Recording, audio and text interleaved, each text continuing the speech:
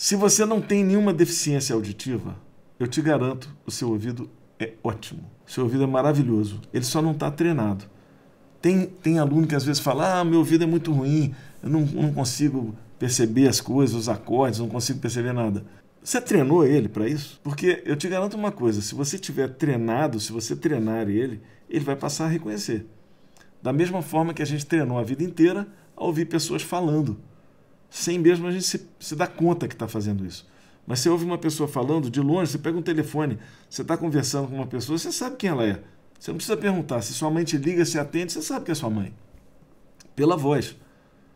Né? Ou um seu irmão, ou sua, ou um amigo, você ouve, pô, fulano de tal, tal, né?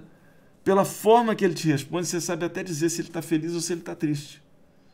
Ou seja, o teu ouvido é super bem treinado para isso, para reconhecer as vozes. Ele está pessimamente treinado para ouvir música, se você acha que seu ouvido é ruim. Então, o que você precisa fazer? Fazer o treinamento específico. E existem técnicas para isso.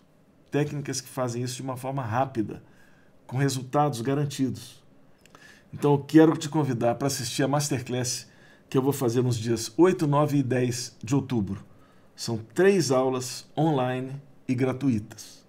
Nessas aulas, eu vou te ensinar como treinar o seu ouvido para escutar música e para tirar música de ouvido, para você escutar e saber já o que você está escutando, saber quais são aqueles acordes, saber quais são aquelas progressões harmônicas, sem nem mesmo precisar pegar no instrumento. Você só precisa clicar, se inscrever, clica no link, se inscreve, porque a aula é gratuita e ela é online. São três aulas, dia 8, 9 e 10 de outubro. Eu te espero lá. Vamos treinar esse ouvido para ouvir música direito.